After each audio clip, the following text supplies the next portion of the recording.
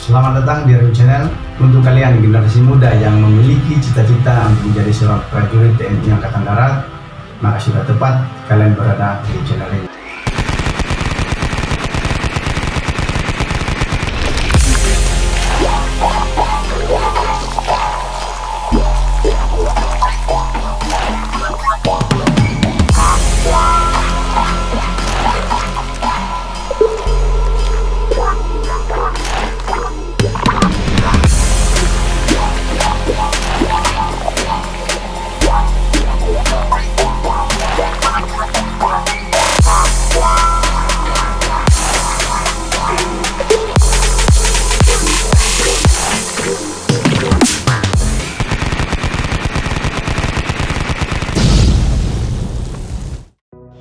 Selamat datang di Army Channel, berjumpa kembali dengan saya Andreas.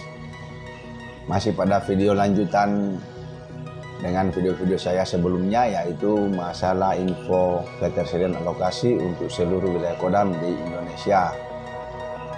Nah ini adalah kelanjutan dari video-video itu.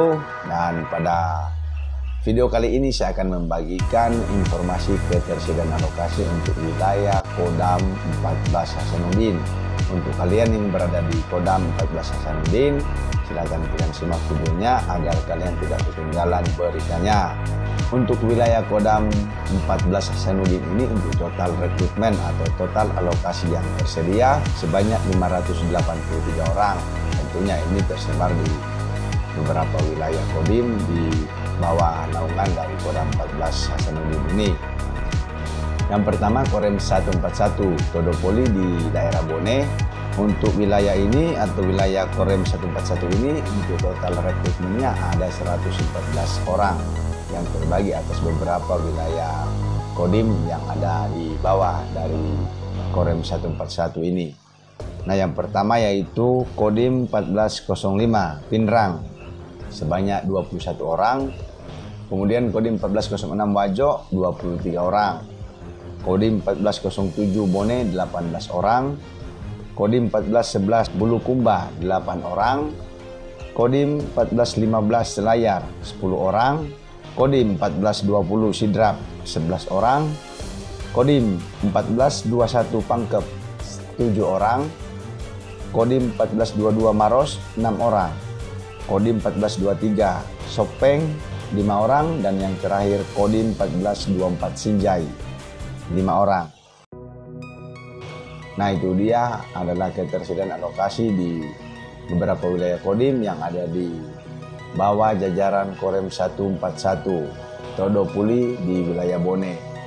Nah untuk kalian yang mendapatkan kesempatan silakan kalian manfaatkan kesempatan ini untuk mendaftar dan yang tidak mendapatkan kesempatan karena kodimnya tidak mendapatkan alokasi jangan kalian kecewa silakan kalian tanya langsung ke kodim setempat untuk mendapatkan info pastinya.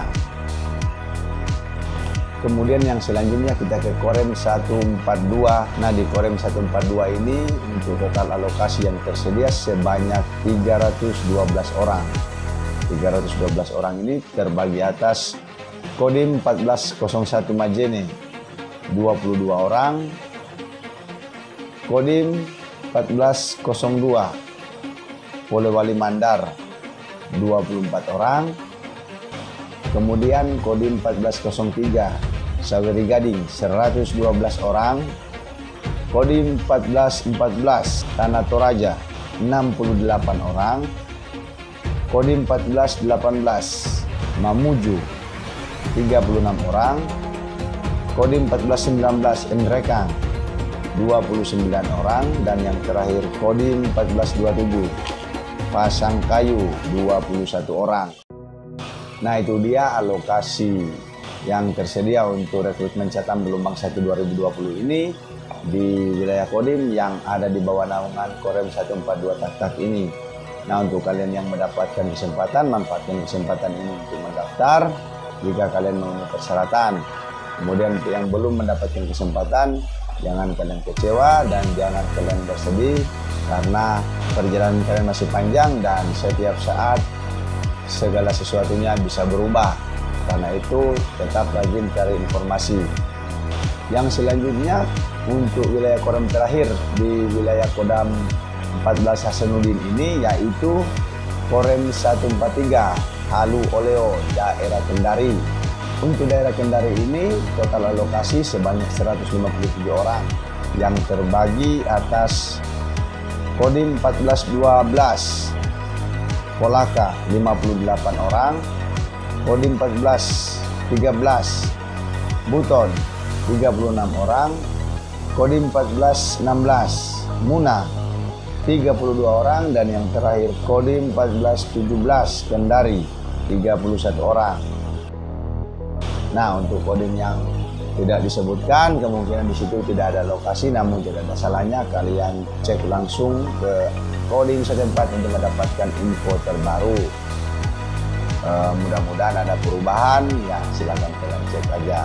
Kemudian untuk kalian yang mendapatkan kesempatan manfaatkan kesempatan ini segera daftarkan diri kalian karena tidak semua orang mendapatkan kesempatan. Siapkan diri kalian dari sekarang siapkan administrasinya dari sekarang dan apabila kalian bingung bagaimana cara daftar online, silakan kalian daftar online. Videonya ada di channel saya. Dan untuk mendapatkan pemberitahuan jika ada video terbaru dari saya, jangan lupa like dan subscribe serta klik gambar lonceng. Jadi ketika saya upload video terbaru atau saya live streaming, maka kalian akan mendapatkan pemberitahuan atau notifikasi di halaman YouTube kalian. Jadi agar kalian tidak ketinggalan info-info terupdate dari Army Channel. Oke, selamat berjuang, semoga sukses. Salam Army Channel.